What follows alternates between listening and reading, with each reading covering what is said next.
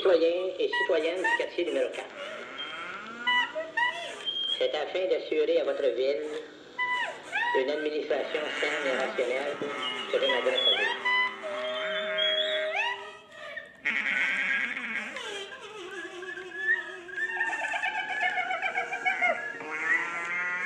Désirez-vous vraiment payer les taxes excessives qui vous écrasent? Il me semble que non. Il m'est permis de vous garantir que les taxes suivantes seront réduites ou abolies.